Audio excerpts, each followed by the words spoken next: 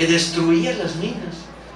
Hidalgo lo primero que dice cuando llega una población es abran la cárcel. Y cuando abren la cárcel el mensaje a los presos siempre es el mismo. Y hay cuatro o cinco registros en las crónicas de la época que lo muestran. Es, hijos míos, sed libres. Su justicia no es nuestra justicia. Compañeros, compañeras, han pasado 200 años.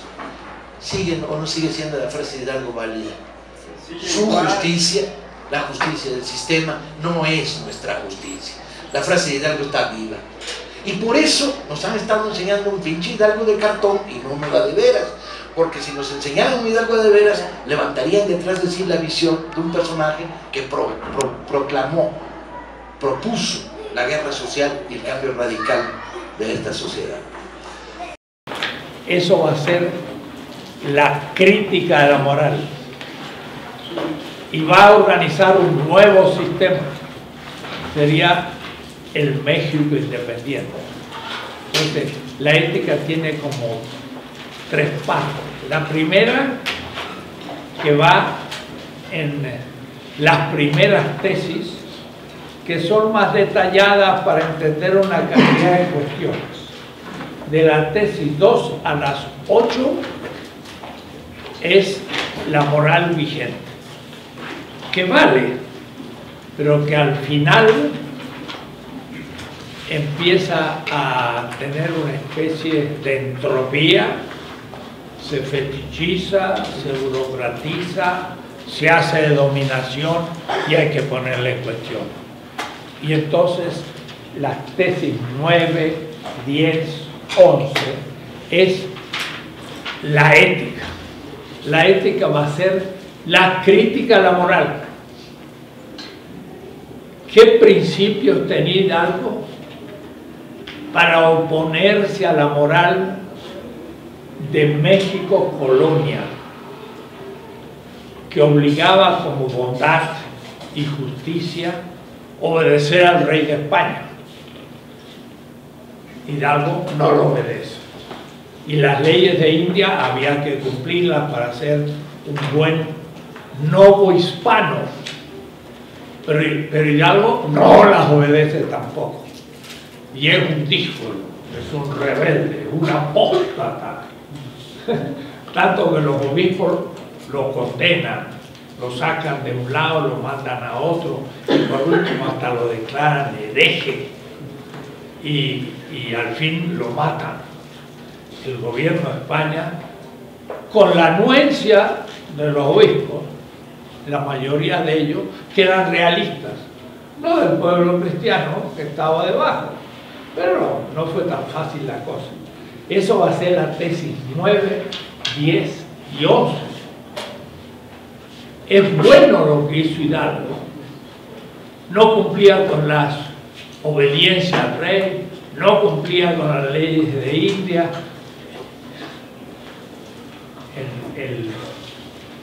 Breviario, los curas tenían un breviario en latín que debían todos los días rezar y como les dije alguna vez, Morelos tenía también un breviario. Y he leído yo el breviario de Morelos, lo dio un arquitecto hace años. Y, en el breviario de Morelos estaba escrito en la primera página. Este breviario tenía Morelos en sus manos junto a la cruz cuando fue fusilado en esta, no me acuerdo qué denominación pone, de Catepec, por seguir al apóstata y al rebelde de Hidalgo que se levantó contra su Dios y su rey. Es decir, lo fusilaron a Moreno y lo fusiló la moral realista. ¿Qué ética lo sostiene?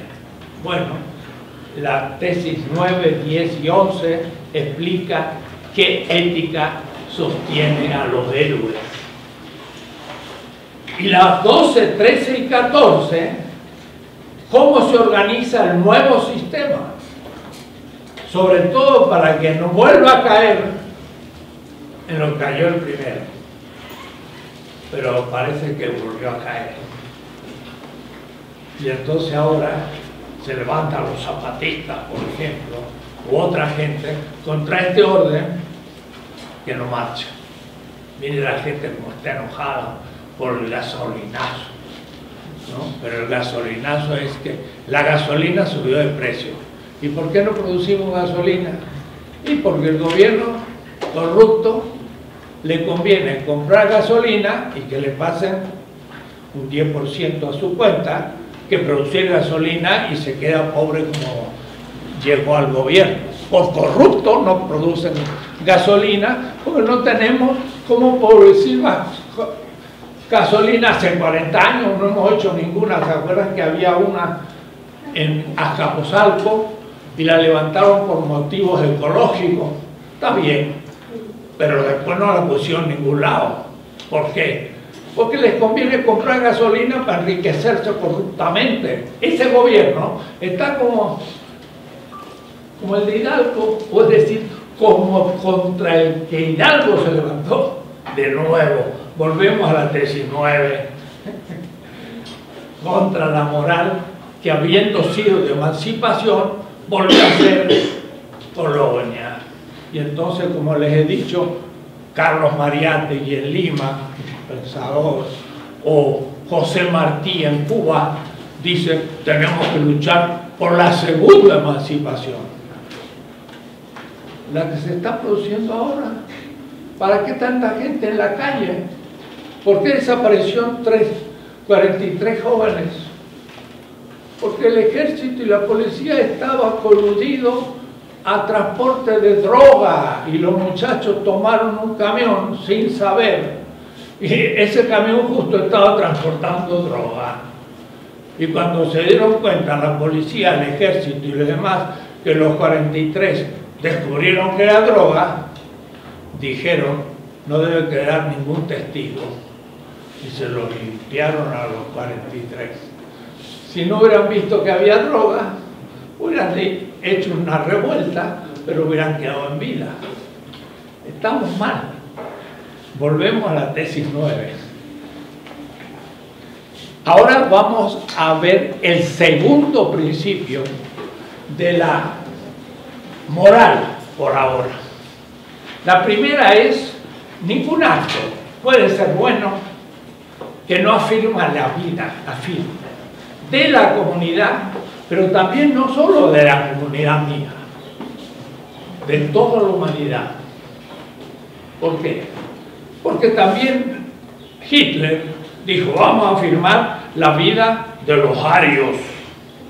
Era el racista. O Trump dice los norteamericanos. Y entonces aquí no entra ningún musulmán. Yo no soy musulmán, pero alguien tiene derecho a ser musulmán, ¿por qué no va a entrar? Y ya han entrado antes y son gente pacífica. Ah, que hay gente musulmana violenta. Bueno, Pregúntenle, pregúntenle a la CIA por qué los musulmanes se han hecho violentos desde que los educaron en Afganistán para luchar contra la Unión Soviética. No se hagan santitos. Pero entonces la cosa está mal. No debo solamente decir voy a proteger la vida de los alemanes y, los judíos los mando a la a las cámaras donde se los quemaba. Dos, tres, cuatro millones de personas. Terrible, ¿no? Pero para afirmar la vida de los alemanes. Entonces no es el principio de la vida, es la vida, pero de todos los seres humanos, no de mis amigos o de mi país. Dense cuenta que estos terroristas árabes hasta quemaron algunos, ¿no? Lo pusieron dentro de una jaula y lo quemaron. Horrible, ¿no? Algunos. ¿Se imaginan ustedes lo que significa? Más, quemar 4 o 5 millones de personas. Miren, había montonas así de muelas de oro.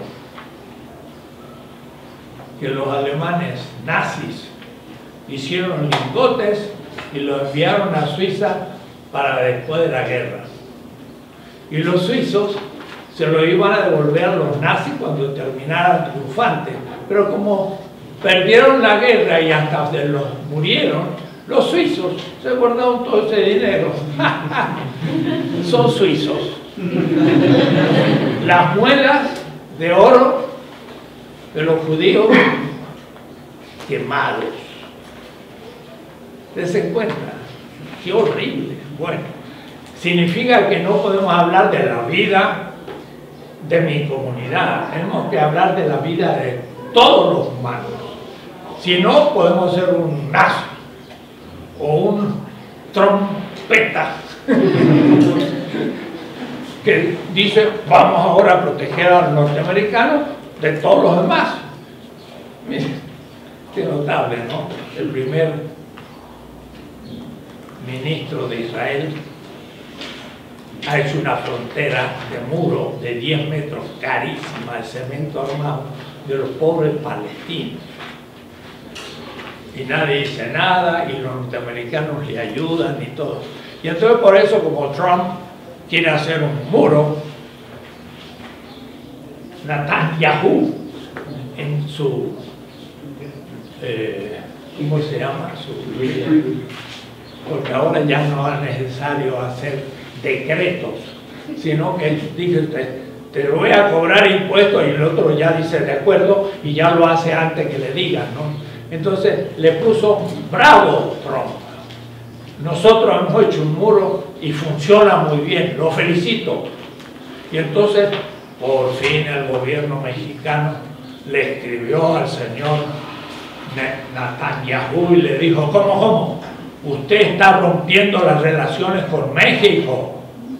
Y entonces el primer ministro sionista, cuidado, yo conozco bien el pensamiento semita, hablo el hebreo, no voy a decir que soy antisemita, al contrario, soy semita, si ustedes quieren, pero no soy sionista.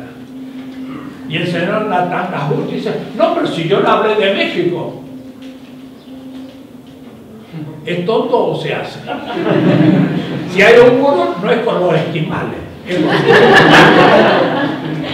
Si un muro era con México, no se me dado vuelta. Miren eh, cómo está decadente el sistema. Pues sí que es necesario la crítica. Por eso que por ahora estoy construyendo una moral de un sistema. Después vamos a ver que el sistema llega un momento en que se hace muy injusto. Y entonces hay que cambiarlo. Entonces hay que decir, y lo que los cambia son morales, son éticos, pero a veces los matan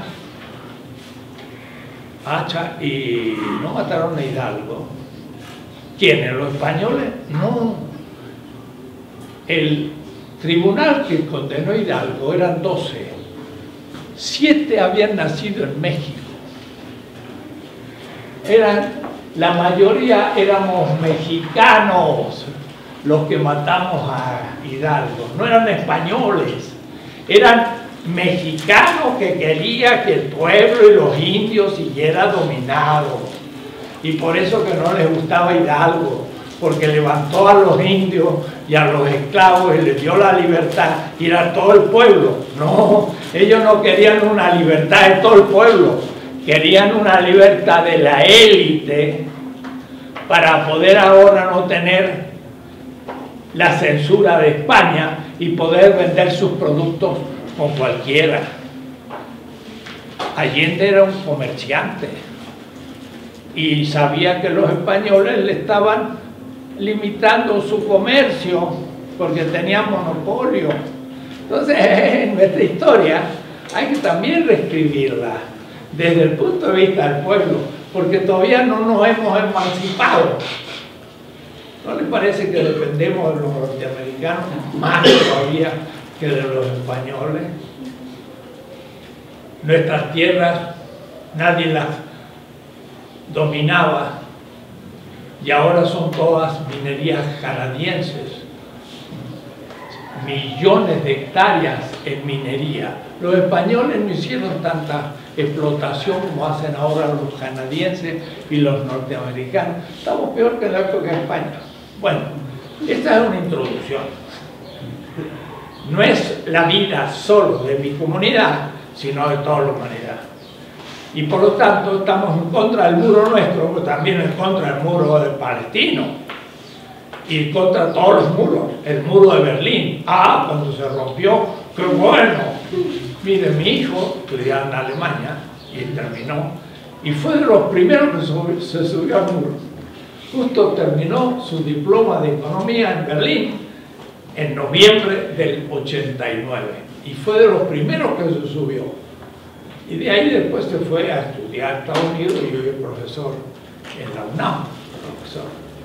Era una gran alegría la destrucción del muro y ahora están construyendo un muro. No es contradictorio. Entonces no podemos pensar solo en nuestro país, sino en toda la humanidad. Primer principio, afirmación de la vida.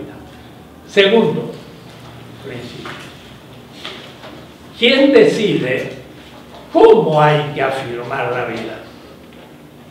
Ese es el segundo. Porque también en el primer principio, afirmación de la vida, Hitler decía cómo se afirmaba la vida de los alemanes. Y era un nazi. Más, era el fundador del nazismo. Entonces, ¿quién es el que decide cómo hay que afirmar la vida, que no sea un Hitler, y cómo debe hacerlo? Ese es el segundo principio. Porque si se decide mal, puede decidirse en contra de otros. Y ese es un principio formal. ¿Por qué formal? Porque es una forma cómo se decide la afirmación de la vida de una comunidad. ¿Cómo se decide? La manera, el modo, la forma la forma como se decide la afirmación del primer principio es ya el segundo principio, porque es un principio normativo. Es decir, si no lo cumple, el acto también es malo. Si decidió la vida solo Hitler y solo para los alemanes, o solo Trump, solo para los norteamericanos, la afirmación de la vida es mala. Entonces es un principio material, uno, la forma, no el contenido material. Pero ahora vamos a ver un principio formal. Si yo afirmo la vida, el principio material determina la forma. Pero si yo sé cómo afirmar la vida, el principio formal determina la vida. Entonces, una es una determinación material y la otra es una determinación formal. Y el acto justo, bueno, debe afirmar el principio material y el formal. Pero estos dos principios, cada uno, determina al otro. Como diríamos, el corazón bombea el alimento para todas las células del estómago. Y el estómago digiere alimentos, por lo cual se, alimenta el corazón. Puede decir que el estómago determina el corazón y el corazón determina el estómago. Y así todos los órganos del cuerpo cada uno determina todos los demás. Es complejo, no es uno, es una codeterminación. Determinar es constituir al otro. Entonces, ahora vamos a ver en qué consiste el principio formal de la ética. Quien lo formula de manera muy interesante, se llama Carlos Otto Apple, un viejito ahora ya retirado de la escuela de Francia, un gran filósofo, estuvo más de una vez en México, en mi casa también. Cuando venía yo no lo llevaba al hotel, sino lo invitaba en casa con su señora, bien alemán. Eh, él estuvo de joven en el frente de Alemania, en San Petersburgo, en Leningrado, y ahí mataron a todo el ejército alemán, los rusos. Perdieron 20 millones de personas, pero vencieron a los alemanes en un invierno terrible, porque los alemanes dijeron, terminamos con los rusos en un mes, y se fueron a atacar a Rusia, que queda a mil kilómetros de Berlín. Pero los rusos empezaron a poner oposición y oposición y oposición, y le retrasaron y retrasaron, y se les viene el invierno. Y 30 grados bajo cero, no estaban preparados, se congelaron los, los alemanes. Y ahí estaba Apple, cuando era joven, dice, errores de juventud.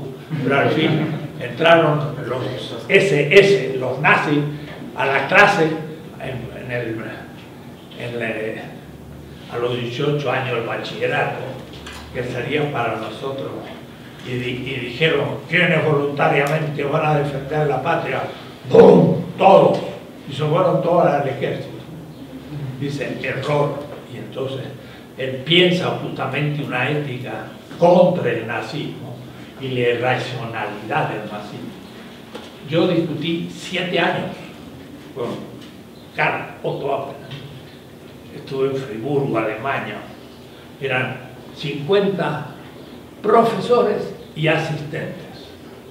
El profesor Appel en una mesa y yo un diálogo entre la ética del discurso y la ética de la liberación. Empezamos. Después de ahí vinieron a México. Y aquí Apple descubrieron nuestra realidad. Después fue Einstein, después. Y nos reunimos ocho veces y publicamos un libro, Ética del discurso, Ética de la liberación. Voy a ahora pecar de presuntuoso. El diálogo entre un gran filósofo europeo, maestro de Habermas y mucho, y un servidor. La primera vez en la historia. No ha habido otro a ese nivel, donde como de igual a igual discutimos. Y aprendí mucho, pero también lo critiqué. Mi ética no es de chiquito, 14 tesis que un poco para ustedes, sino la ética que yo llamo amarilla, 680 páginas, con casi 100 páginas de bibliografía, entrando 40 autores por página de la bibliografía utilizada, no de la existente. Esta fue mi respuesta. Y, y entonces nos agarramos Yo no soy comentarista de los filósofos europeos y norteamericanos. Pienso con mi cabeza latinoamericana nuestra filosofía. Estoy siempre descolonizándome. Nunca termino, pero estoy bien avanzado ya ya tengo como un 95% que ya no pienso como ellos, sino de otra manera. Y este debate fue fenomenal. Pero aprendí mucho. Y entonces les voy a decir las cosas en las que consiste este segundo principio, que Apple lo propone por primera vez en la historia de la filosofía en, casi 40 siglos porque mucho antes de los griegos empezó la filosofía y nadie nunca se había enunciado este principio. El principio es el siguiente, ¿cómo se determina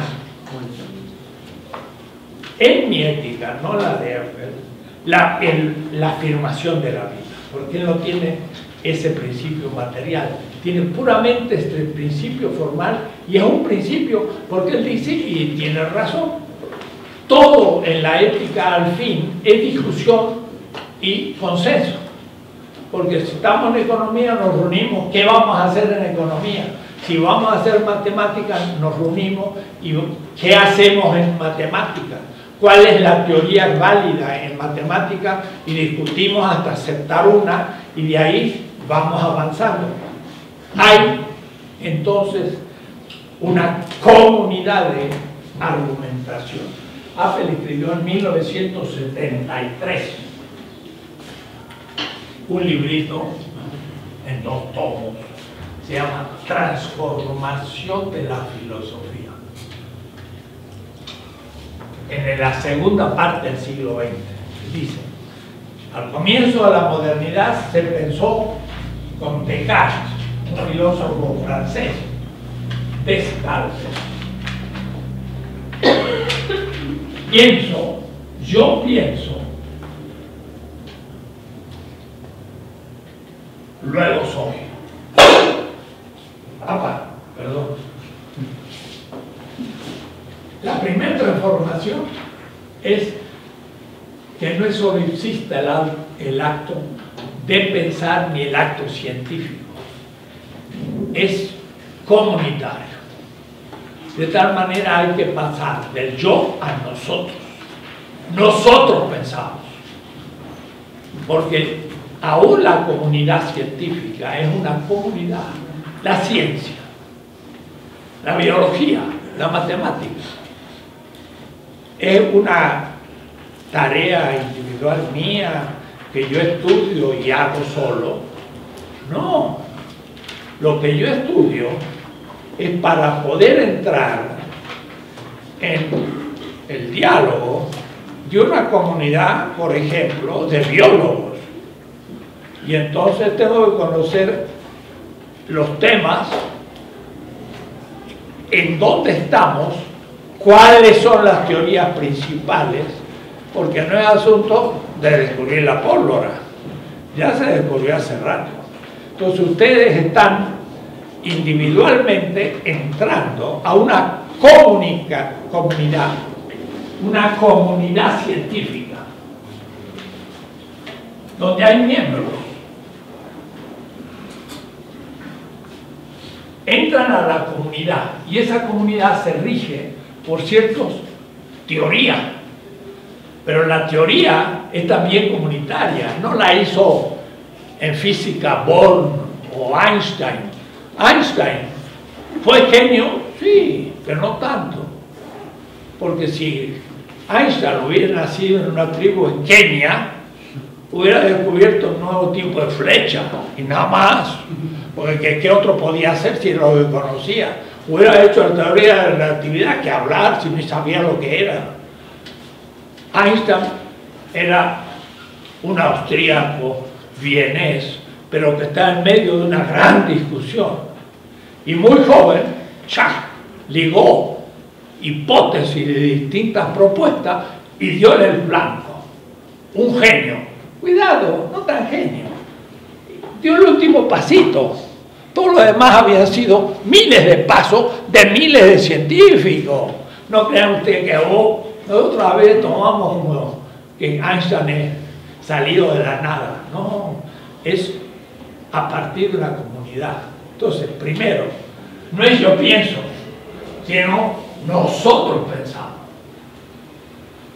El yo se transforma en nosotros. Y el libro se llama las, transformaciones de la filosofía. La primera se pasa del yo solipsista a la comunidad. Entonces hay una comunidad filosófica. Yo formo parte. Y cuando yo le quiero transmitir algunos conocimientos filosóficos muy iniciales, usted dice, va, está difícil esto, muy abstracto, no es para mí, está bien. Pero están imposibilitándose de entrar a una comunidad de reflexión de otro nivel. ¿Está difícil? Claro. Como es difícil subir una montaña, Pero si estoy en el valle, no veo nada. Si subo a la montaña, veo otras montañas y muchos valles. Yo soy andinista y he llegado a 7000 metros, allá a la Concagua, y cuando uno llega a los 4000 metros y supera las nubes, y estaba frío y había que tomar cebolla para que el corazón funcionara, y de pronto, ¡pum! uno caminando pasaba las nubes, empezaba a haber demasiado calor porque había 30 grados más arriba de las nubes. Cambiaba el panorama, uno veía cumbres, no valles. Era duro, sí, pero una belleza fantástica, valía la pena. Nunca dejé de llegar a la cumbre de una montaña que me propuse. Da la casualidad, pero nunca. Dije, ay, está difícil, no llego. No, llegué a los 12 años 4.500 metros y después superé a los Popocatépetl. Eso es lo que tienen que hacer ustedes, subir y ver otros panoramas. Pero entrar a una comunidad científica, que es una comunidad que tiene unas teorías comunes y un lenguaje común. Porque también el lenguaje hay que saberlo, porque es un diccionario. Y entonces eh, hay muchos problemas con los neoplastias eh, masculinas. ¿Y, qué, significa eso, neoplastia? Bueno, lo usan los medios, pero ya se usa en el diario, porque ayer lo leí en el diario. Es nada menos que posibilidad de cáncer. el cáncer es más fácil, pero neoplastia está más complicado. Es un lenguaje para ser médico hay que dominar. También para ser, pensar la ética hay que dominar. Comunidad. Las teorías son comunitarias, se han hecho en común, se aceptan en común y se practican en común y se modifican en común. Entonces, eh, como yo les he dicho, esto, la ciencia, no es algo que yo aprendo y después genialmente yo avanzo, no, si esto fuera la cantidad de conocimiento, cero de conocimiento, tu burro no sabe nada. 100% de conocimiento, imposible. Conocer totalmente algo no es imposible. No sabemos ni lo que es un átomo. ¿Qué vamos a saber lo que es una célula? No sabemos lo que es el universo, apenas sabemos lo que es una galaxia. Entonces, nunca lo sabremos, además. Esto es una tarea. Pero si aquí yo sitúo el tiempo, la comunidad científica empieza por no conocer casi nada, casi cero de conocimiento, y va avanzando en el tiempo y cada vez conoce más 80, 90, y, pero nunca va a llegar porque es una línea asintótica al infinito. Nunca el conocimiento va a ser la realidad. ¿Y yo dónde estoy? Yo estoy en algún momento del tiempo, el tiempo de mi vida. Nací y me integré a una comunidad que estaba mucho antes y aporto algún elemento nuevo si soy inventor. La mayoría pues, solamente repite y aplica, no inventa nada. Pero en fin, el otro viene después e inventa algo nuevo. Y después el otro viene después e inventa algo nuevo. La comunidad, la ciencia, es, dice Peirce, un filósofo norteamericano, Peirce, pragmático, es de Infinitely Community, es una comunidad de infinito. Entonces, dése cuenta, nosotros lo que estamos haciendo en la universidad es a paso acelerado entrar a la comunidad. Algunos rebotan y no entran. ¿Por problemas económicos, problemas personales o lo que sea, no entran. Otros entran y son repetidores. Otros inventan nuevas cosas. distintas posibilidades. Entonces Apple dice, no es yo, sino nosotros. No es yo pienso, sino yo hablo. Porque yo externizo mi pensamiento.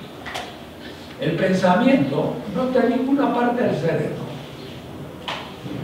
El habla sí, está por atrás.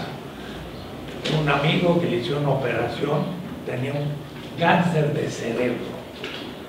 Le perforaron el cráneo y en la operación tenía que estar hablando. Porque por ahí ah, no podía hablar y entonces el doctor tenía cuidado y sacaba el bisturí porque estaba tocando el centro del habla. Y para no herirlo, le tenía que pedir que siguiera hablando. Mire usted qué El habla tiene lugar, los ojos tienen lugar, pero el pensamiento es una función general del cerebro. De paso, el neocórtex, que es la parte arrugadita del cerebro, ¿no? Ustedes ven que el cerebro está así, pero que está todo arrugado, ¿no? ¿Y, por qué eso? Porque si usted pudiera inflarlo, mi cerebro sería así grande. La, la, corteza cerebral, porque lo importante es el número de neuronas en la corteza, son más de 100 millones de neuronas. ¿No? Y ahí, sin embargo, sí hay mucha relación a nivel del conocimiento. Mientras que hay otro sistema, que es el sistema límbico, que es un sistema distinto, que tiene otro tipo de células, que no son como las neuronas, sino de otro tipo, y que es todo el aparato afectivo, que es mucho más complicado que el cognitivo. Pero de todas maneras, eso que yo pienso en mi cerebro y que le pongo una palabra en mi lexical, se lo comunico a otro. Porque mi experiencia... Hacha. Ah, este, este, tengo el problema aquí, como ustedes ven. Tener que poner una silla. Ponlo. Hay un lugar más estable. El que está debajo de mis pies justo. Sí. No, pero pueden ocupar la, este, la silla y más silla. Ahí, ahí. Ahora. No es asunto de lo que yo pienso. No es yo pienso, sino yo pienso y puedo ponerle palabras expresivas. ¿Por qué?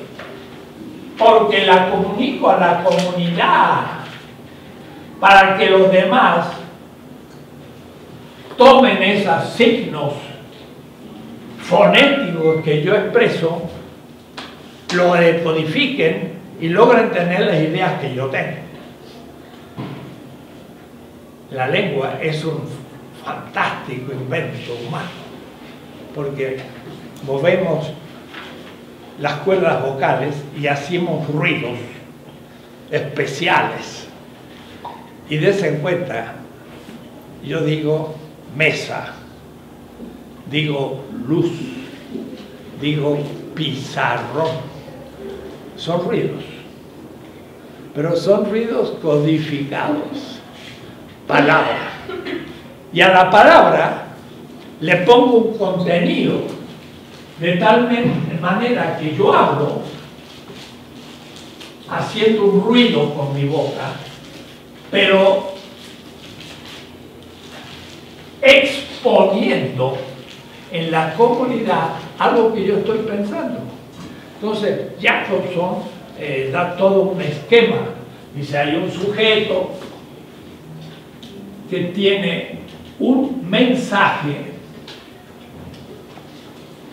que codifica en una palabra que profiere, pero el otro sujeto decodifica esa palabra si sabe ese lenguaje. Porque si y beginne jetzt auf Deutsch, verstehen Sie nicht, was ich sage, en alemán. No me enteré.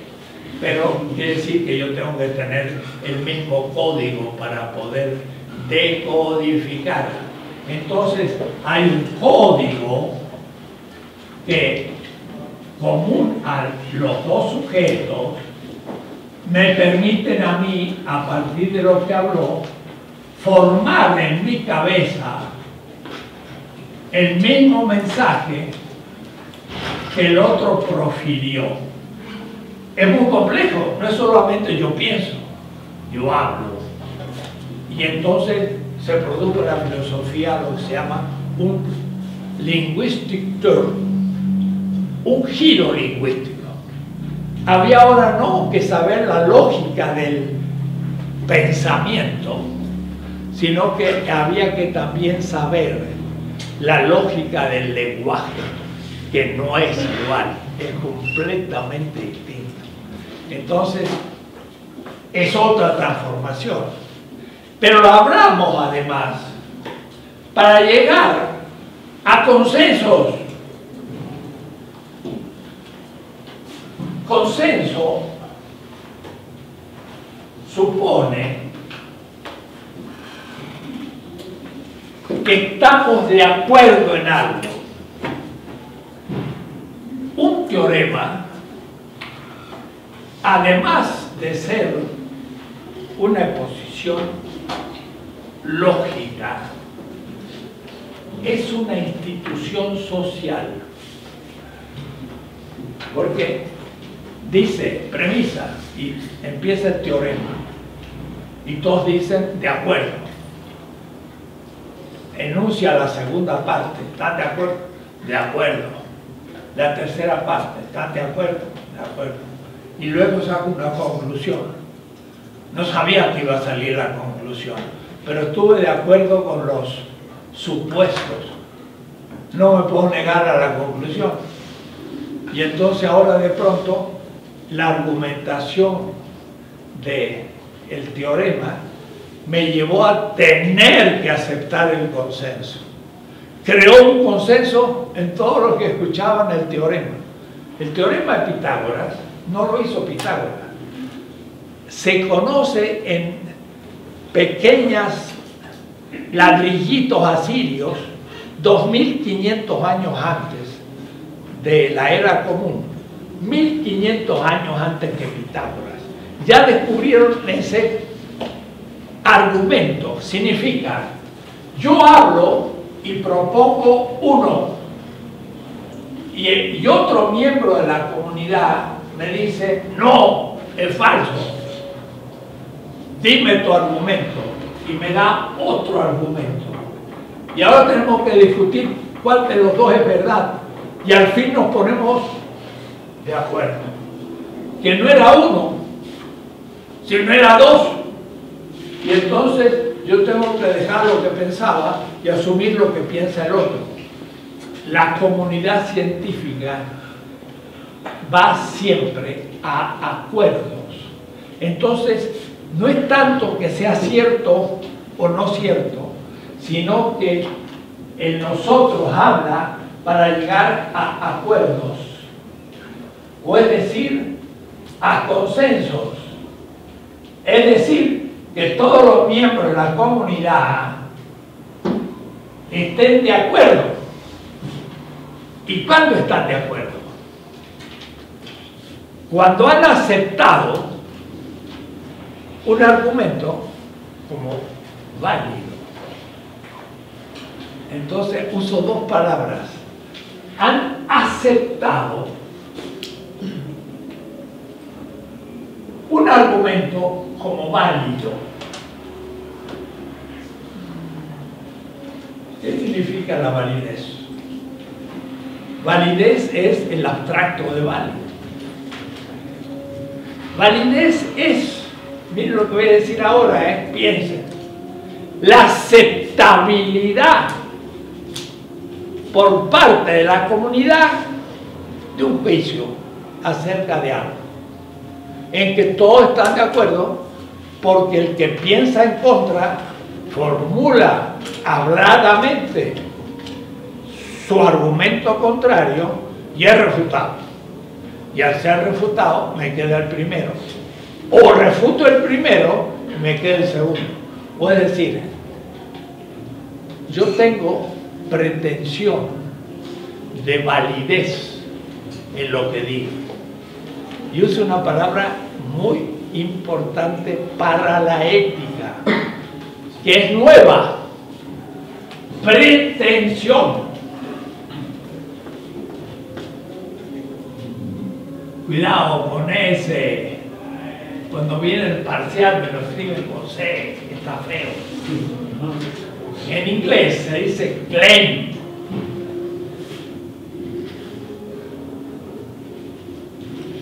En alemán se dice Anspruch.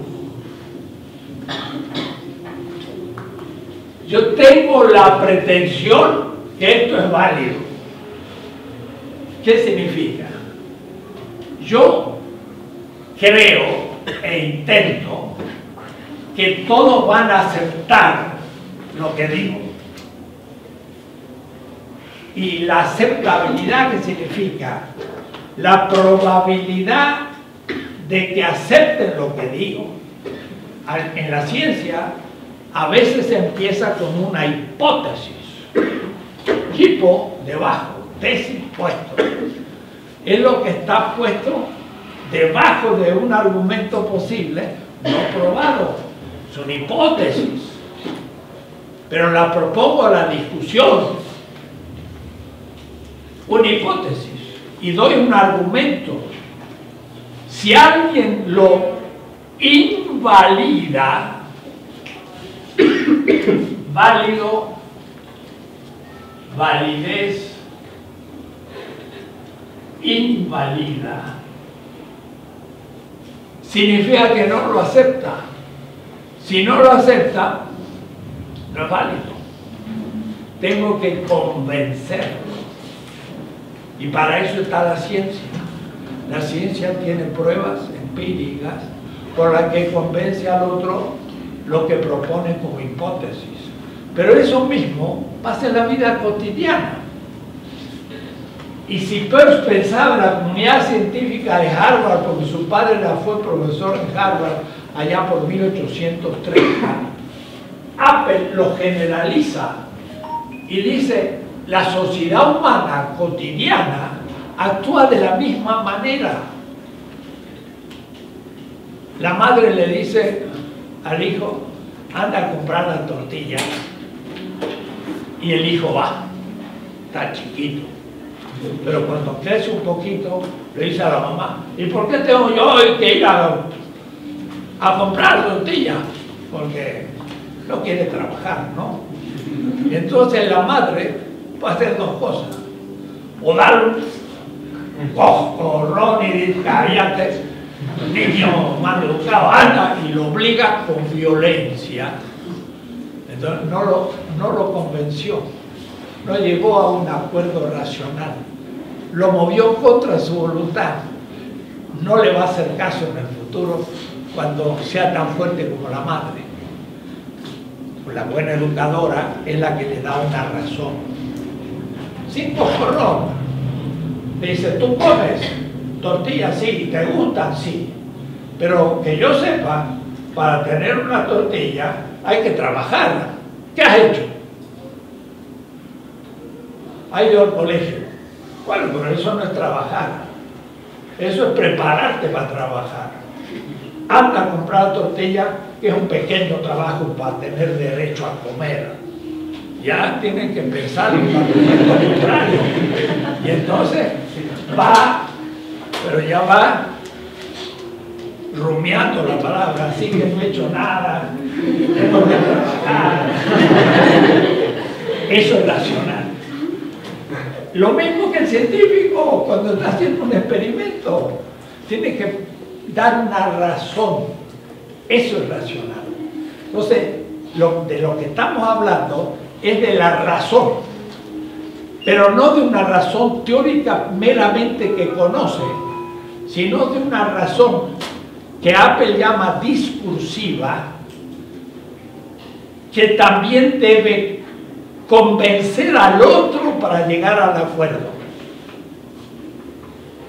Y eso ya no es meramente teórico, es también práctico. Porque cuando uno piensa A y vienen y se lo refutan, ¡ah! da bronca, ¿no? Así que todo lo que yo hice ahora no vale, porque en vez de A es B. ¿Lo acepto o no lo acepto? Y pongamos que el que dice A es el profesor y el que dice B es el alumno. Y el alumno le prueba al profesor que no tiene razón. Y entonces el profesor le puede decir lo mismo que la madre al alumno. Cállate, ya estudiarás. Y no acepta. Entonces, hay que crear consenso. Sin violencia. Pero eso supone, miren qué interesante e inesperadamente, y esto lo dice Peirce, una ética o una moral por ahora. Mire si un romano libre tiene a un filósofo esclavo, y en Roma se daba ese caso, que había griegos que eran filósofos, que caían en la esclavitud, iban a Roma. Entonces el señor libre podía decir, ah, pues quiero aprender algo de filosofía. Le, le voy a decir a mi esclavo que me le enseñe un poco de filosofía. Y entonces lo llaman para discutir. Si el filósofo es, es serio e inteligente, le tiene que decir, mire, la filosofía argumenta para que la verdad se imponga. Pero para que la verdad se imponga, los dos interlocutores deben tener los mismos derechos. Porque si llegamos a una conclusión que a usted no le conviene, usted dice, no lo acepto, vaya usted a seguir trabajando, señor esclavo, y él se queda tan tranquilo. Para que usted tome en serio a la filosofía, vamos a argumentar, pero si usted no tiene razón, aunque sea libre, y yo tengo la razón, aunque sea esclavo, usted tiene que aceptar mi razón. Si no es un juego y no es en serio. Si el Señor dijera, de acuerdo, yo quiero estudiar filosofía en serio. Entonces el esclavo lo primero que le diría sería, Señor, me tiene que dejar libre. Debo dejar de ser esclavo. ¿Por qué? Porque si yo siendo, sigo siendo esclavo, no somos simétricos en la discusión. Cuando yo le pruebo a usted que está en el error, usted va a decir, cállase, y entonces ¿para qué sirvió el partido? Dice Apple, la ciencia supone una ética.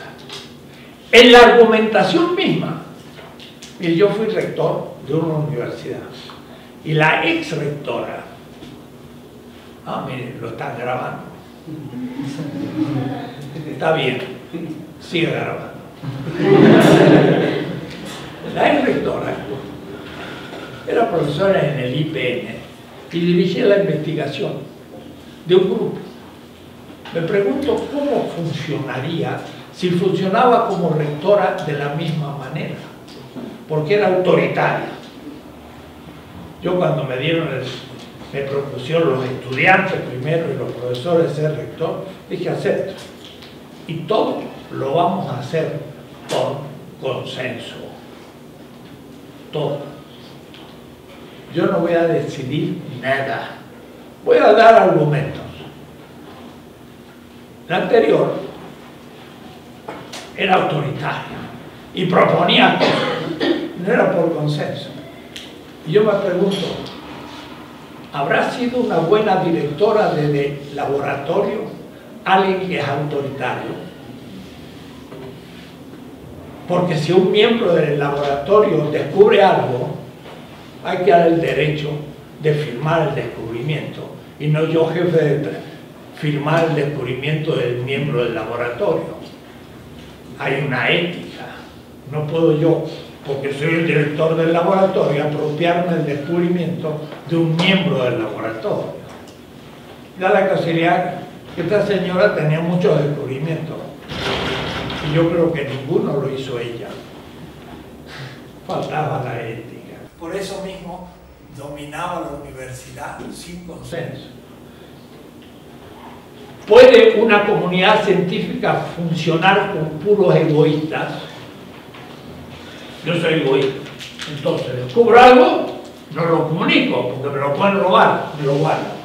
Si cada uno de la comunidad científica se guarda su descubrimiento, no hay comunidad. Yo tengo que arriesgarme generosamente a poner el descubrimiento a disposición del equipo para que todos crezcamos. Tengo que ser generoso, tengo que ser humilde, tengo que darle a todos el mismo derecho de argumentar. Y el que proponga el mejor argumento es el que gana, no, no gana, sino del que todos nos aprovechamos. Si yo decía A y resultó falso porque era B, yo no fui vencido. Ese día es un día que hay que celebrar, porque estaba en el error en A y ahora sé B, estoy bien. Gracias compañero que me lo descubriste. No es ser vencido por un mejor argumento, es haber crecido en la verdad hay una ética detrás del conocimiento teórico. ¿Y quién lo dice? Peirce. Y dice, le llamó a eso el socialismo ético. Una ética supuesta detrás de la comunidad científica. Y entonces Apple lo aplica a todo comportamiento humano.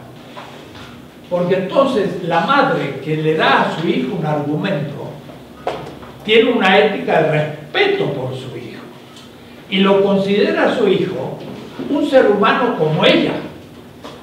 Y el hijo merece un argumento, no un cocorrón. Y cuando el hijo crezca y tenga más cultura que la madre, y ahora ya la madre no pueda dar un mejor argumento, entonces la madre tendrá que decirle, mira, ahora gracias a mi trabajo, tú tienes mejor cultura que yo crea el argumento que yo debería pronunciar para convencerte. Claro, mi madre hizo la primaria y era una mujer muy inteligente. Y entonces ella decía, inteligente no es el que tiene mucha inteligencia, sino el que usa bien la que tiene. Tengo poquita, no importa, úsala bien, eres inteligente. Si tienes mucha inteligencia y no la usas, no eres inteligente. ¿Por qué? Porque sabía aconsejar a partir de la vida cotidiana. Entonces, apelar de estas transformaciones. No es yo, sino es nosotros. No el pensar, sino el habla no el significado de las palabras, sino el acuerdo de las palabras, el que debemos con argumentos llevar a consensos y que esos consensos a su vez suponen una ética, sin la cual no hay justamente posibilidad de consenso. Ese va a ser el segundo principio, pero enunciado de la siguiente manera. Para que un acto tenga pretensión de bondad, aunque ellos le llamarían de validez, demostraré después la diferencia entre validez y verdad. Eso ya es mucho más complejo.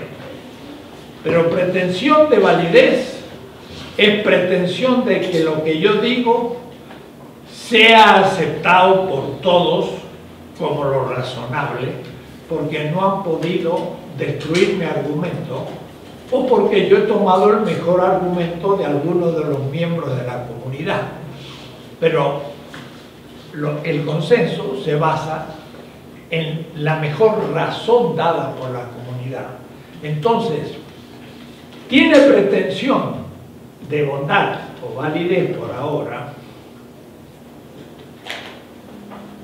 aquella decisión tomada por una participación simétrica de los afectados. Si vamos a estudiar la reforma del plan de estudio de sociología, pues los que están ahí más tocados por el tema son los profesores y alumnos de esa carrera. Son los afectados. Ellos son los que primeramente tienen que discutir. No son los profesores, también los alumnos. Y hasta tendríamos que convocar algunos egresados para que me digan qué les sirvió lo que estudió en la universidad. Y entonces a partir de todos ellos hacer una reforma del plan de estudio. No que se reúnan los profesores solos y los alumnos se dejan de lado y el producto nuestro, que son los graduados, no los convocamos tampoco. Pero tenemos que convocar a todos los afectados, lo cual ya no es fácil, porque debo también convocar a aquellos afectados que no veo, que no conozco. Pero eso ya va a ser un principio crítico, va a ser la tesis 12. Porque yo puedo convocar para discutir el tema a un grupo de gente y a otros no los convoco porque ni creo que son afectados. Pero vamos a discutir el tema de la propiedad privada siglo XVII y nadie se le ocurría invitar a las mujeres porque la familia era dirigida por el padre y tenía la patria potestad. Y la mujer tenía la propiedad del esposo. ¿Para qué invitar a la mujer? No, tenía nada que ver con el problema de la propiedad.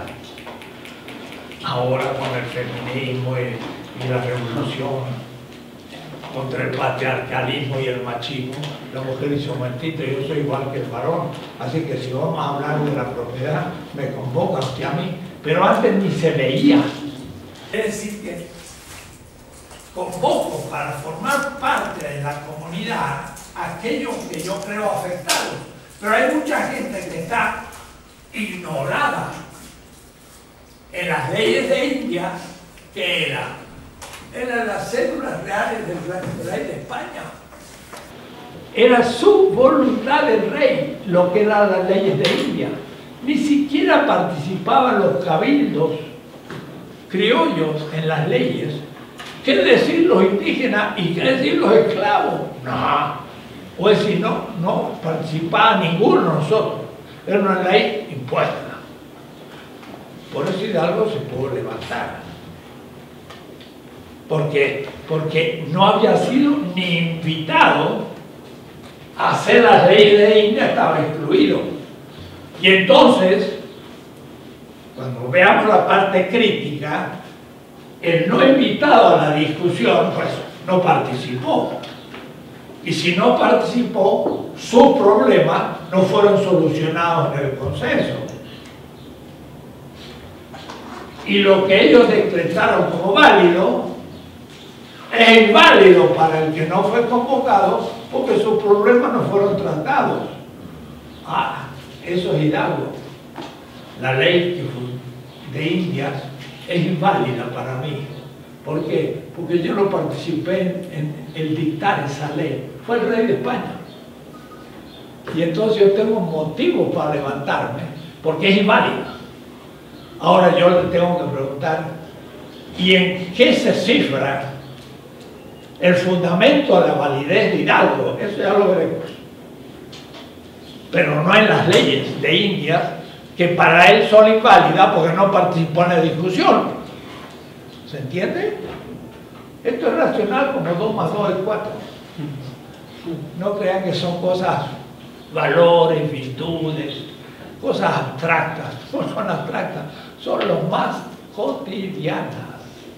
La ética está a la base de la conducta humana cotidiana.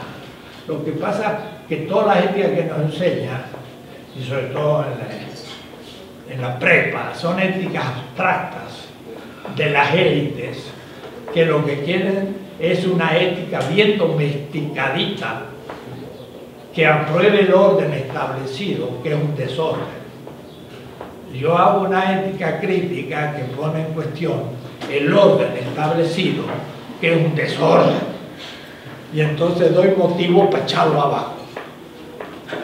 El nombre de la es serio, no estas que nos hacen decir que hay que cumplir valores y que hay que cumplir virtudes de qué, del sistema, del capitalismo no me interesa. Hay cosas más importantes. Esa es la que voy a insistir yo. Pero por de pronto esto es válido. Y para demostrarle cómo es válido, es que aún los excluidos pueden hacer una comunidad y estar fundados en su consenso. Pero el consenso de los, de los patriotas no era el consenso de Nueva España el consenso de los españoles era uno y el consenso de los patriotas era otro y estaban en contradicción. Uno era un consenso dominador y el otro un consenso liberador. Este era el ético y este era perverso. Ah, tengo fundamentos y puedo pensar el tema. Es una ética nueva, latinoamericana. No existe. No la puedes estudiar ni en Alemania, ni en Francia, ni en Estados Unidos. Yo hice un doctorado en la Sorbona, he sido profesor en Harvard, en Duke, en ocho universidades norteamericanas. Profesor, nunca alumno en Estados Unidos. No aprendí como nuestros presidentes en Estados Unidos. Enseñé criticando al sistema norteamericano capitalista. Mi gloria no es ser profesor en Harvard, sino haber criticado la ética norteamericana en Harvard. Había un cargo que es la cátedra Robert Kennedy. Está interesante. Lo mataron a Robert Kennedy y esa cátedra lo ocupé yo un semestre. tuve cursos de ética de estudiantes norteamericanos y les enseñaba estas cosas no lo que ellos sabían, lo que ellos no sabían. Y, un latino me dice, hola, ¿cómo le hablas tú a los norteamericanos? Duro. Y apreciaban porque era nuevo. Ellos saben lo que es nuevo y lo que es repetición. Refrito, dar, dar al, gato así revolcado. No, yo no tengo ética revolcada. Entonces,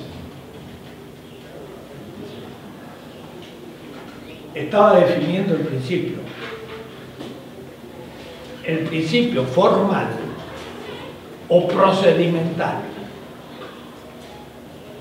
es el siguiente. Se debe seguir el siguiente procedimiento.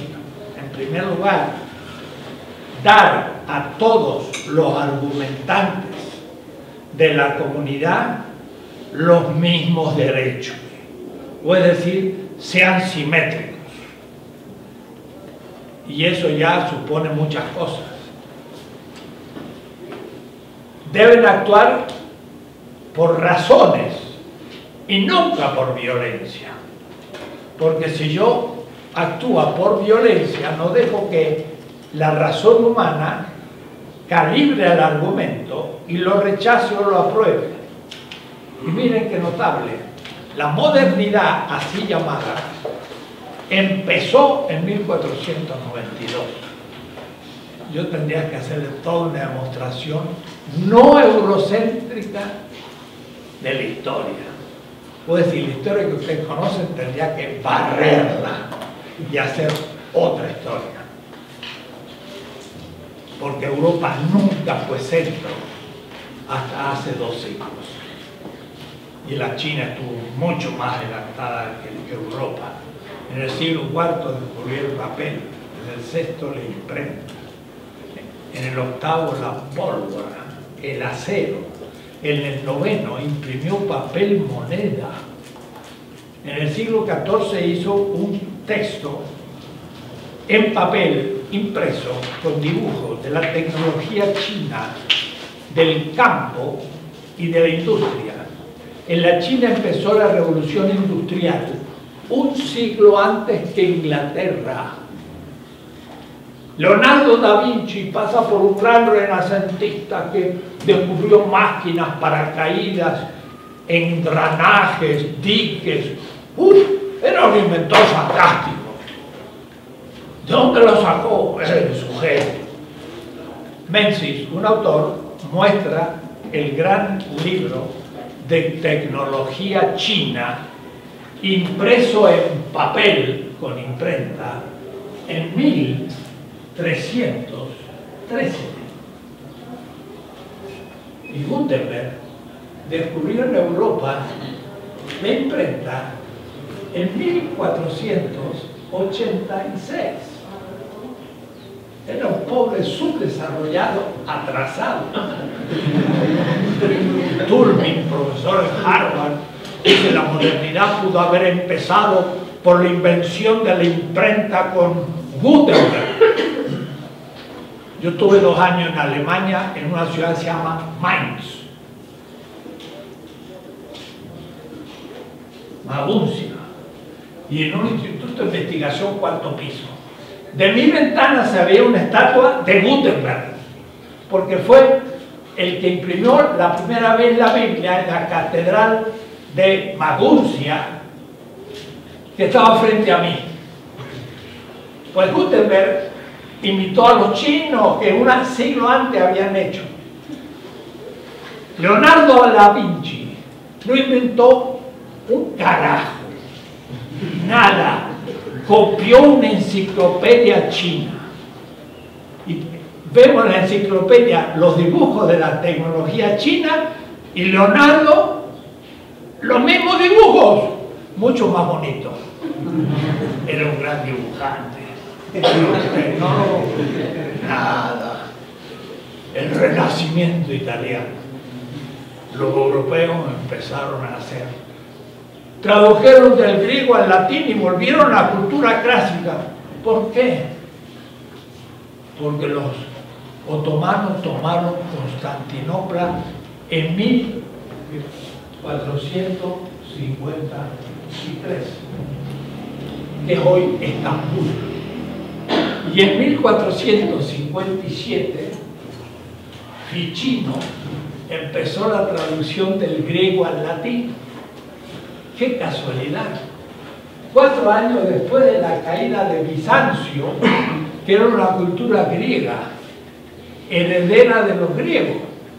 ¿Quién tradujo del griego al latín y empezó el renacimiento? Los bizantinos, que salieron de Grecia y se vinieron a Italia y como estaban muertos de hambre, traducían los textos y los firmaban los italianos. Renacimiento italiano, cero por imitación de la China y de Bizancio. La historia que ustedes han estudiado es falsificación eurocéntrica. Bueno, yo tengo obras enteras, ¿eh? obras. Y esto se está yendo por todo el mundo.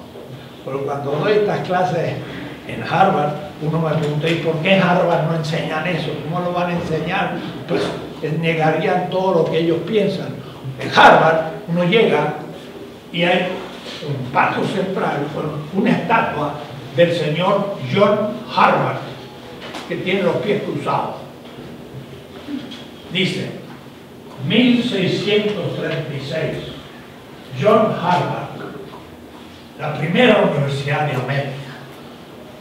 Pero miren estos de Harvard que no saben nada de historia. Primero, el que está ahí no es Harvard, seguro se lo inventaron. 1636.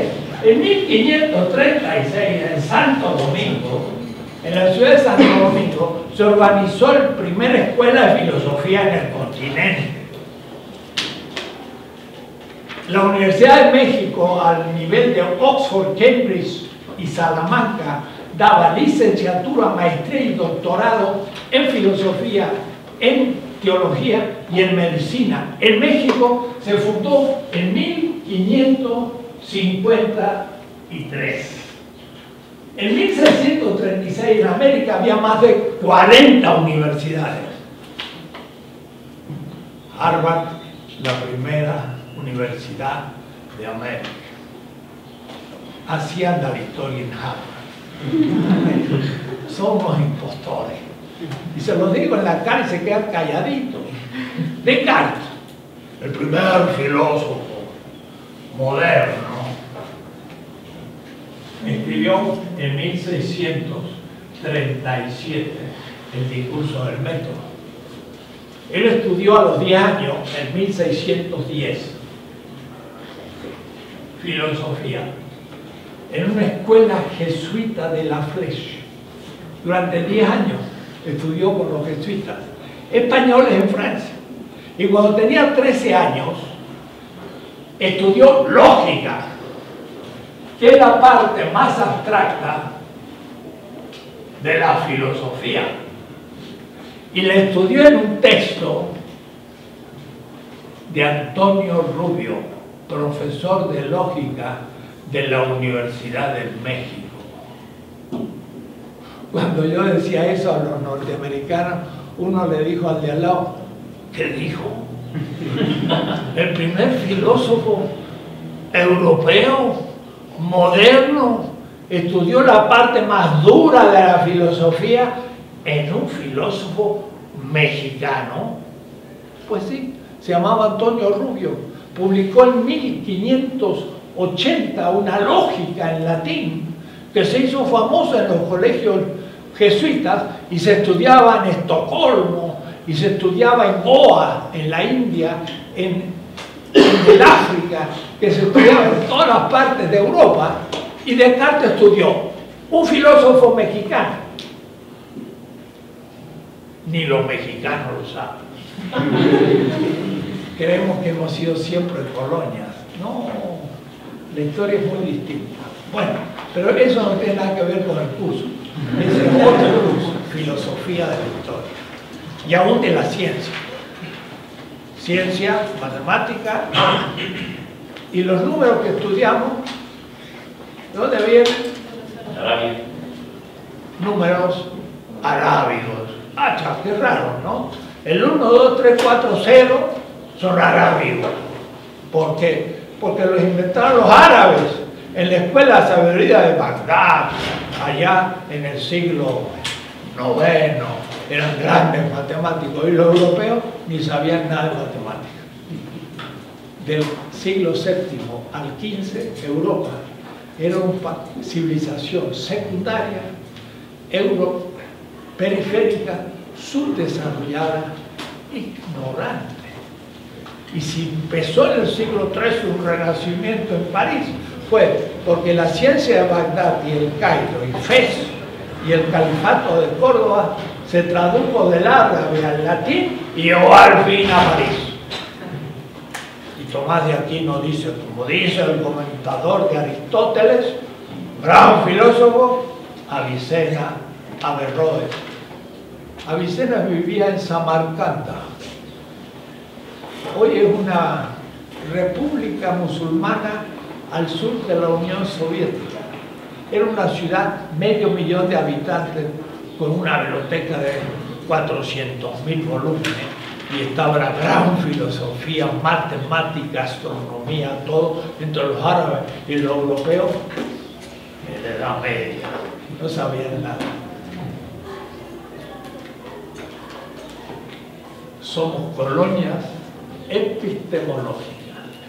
Queremos que ellos han hecho todo y nosotros somos ignorantes. Nos lo cuentan así. Hay que empezar de nuevo. Pero en fin, dejemos eso que no es esta materia. Me fui por otro lado, pero para que entiendan que una persona culta que sepa la historia no eurocéntrica, entonces le es más fácil asumir las tradiciones de su propio pueblo y luchar por México. Pero la élite nuestra y universitarios y profesores son todos eurocéntricos. imitando a los norteamericanos europeos y tomando su ciencia y sus resultados como los criterios de clasificar quién es científico, aún para el CONACYT y para los concursos que ustedes hacen y para sus exámenes. La situación es terrible. Habrá que ir de a poco comenzando. Pero en fin, es un consenso crítico el que pone en cuestión al consenso vigente. Yo estoy en el consenso crítico. Y entonces vamos a hacer una transformación de la realidad, pero de a poco. Iba yo definiendo el segundo principio. El segundo principio dice entonces, afirmar la vida se debe hacer con el siguiente procedimiento. Primero, comunitariamente Segundo, por consenso. Por consenso de argumentos racionales y no por violencia. Usted sabe que Bartolomé de las Casas un obispo de Chiapas. Escribió un libro de más de 700 páginas que se llama Del único modo. En 1536 justo un siglo antes que el discurso del método. 36. Él era un cura dominico en Guatemala en esa época. Y había, había unos indígenas mayas del norte de Guatemala que se defendían duro contra la violencia. La modernidad empezó con la el descubrimiento del Atlántico y la conquista de América. Usó la violencia y jamás los argumentos. Puede decir que fue un movimiento irracional. Fue el primer proceso de modernización, la conquista. El señor Carlos Salinas decía que íbamos a modernizar. No sabe nada de historia. Quería modernizar, tratado del libre comercio. Lo hemos hecho, nos han fundido todos los capital nacional, las transnacionales se han comido al país. Y hasta los norteamericanos ahora con Trump quieren disolverlo. Y nosotros ahora queremos que sobreviva lo que fue la destrucción de México, porque ha desaparecido la burguesía nacional. Walmart, Office y todas las transnacionales se han comido todo las grandes producción mexicana, pero no vendiendo productos, metiendo su capital productivo en México. Y ahora se quiere, dice Trump, no lo va a poder, pero dice, quieren volver. Y ahora los nuestros dicen, no, no se vayan, por favor, quédense, sigan no explotando. Que ya no hay más burguesía casi nacional. Así hay todavía Soriana. ¿Han visto cuántos negocios pone Soriana por todas partes? Algo le valió los millones que recibió en el último fraude, que se dieron millones de tarjetas sorianas para que vendieran su voto. El señor Peña le debe a Soriana en haber sido elegido. Y por eso Soriana se tragó a todos los otros nacionales, aunque los transnacionales siguen creciendo. Entonces estamos ahí en, problemas. Bartolomé Las Casas escribió un libro que se llama El único modo y decía el único modo que debió predicarse el cristianismo fue con argumentos racionales y con buen ejemplo, pero jamás con la violencia de la conquista. Y hizo un libro enorme y no se imaginan Bartolomé Las Casas habla justamente de que los indígenas tienen pretensión de verdad en todos sus cultos y tradiciones. Y la única manera de invalidar sus tradiciones son con argumentos, pero no con la violencia. Y entonces hace una crítica despiadada contra la conquista allá en aquellos años. Ahí tenemos pensadores en América Latina y en Chiapas que ya nos critican la expansión primera de la modernidad, no es una cosa nueva. Y él el principio este segundo lo tenía muy claro. Hay que dar argumentos, y se pueden dar. Decirle, mire, las víctimas humanas no dan la vida al sol. Pero miren qué notable Bartolomé Las Casas.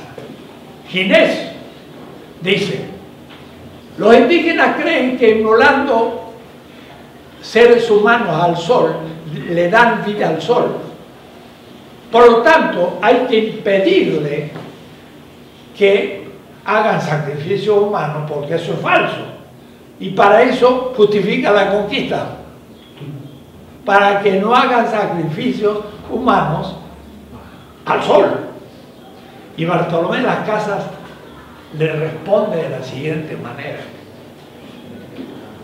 La razón humana actúa según razones. Si ellos piensan que una víctima humana le da la vida al sol, es perfectamente racional. Mientras que no se demuestre lo contrario.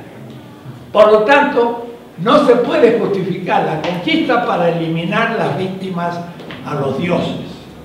Lo que hay que eliminar es la conquista como violencia. Y hay que dar argumentos para que no hagan los sacrificios humanos. Pero sabiendo que los indígenas podrían no aceptar los argumentos.